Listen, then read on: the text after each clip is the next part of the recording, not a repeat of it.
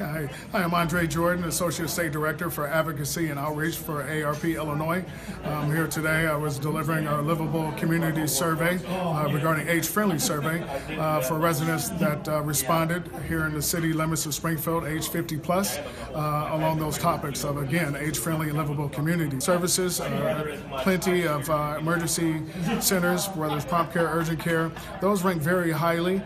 there was a need to have multi-generational inclusion in our schools. So activities that resolve around children also could probably be geared towards adults to bring us closer together as a community and perhaps maybe having more audio and visual uh, crosswalks and pedestrian crossings. So those are things that uh, we found to be very important. Uh, people felt that they wanted to be here. In fact, most residents that are age 50 plus have been here over 30 years and in fact have lived in their home for up to 19 years. So this is what we did and I'm glad to have presented that to city leaders today.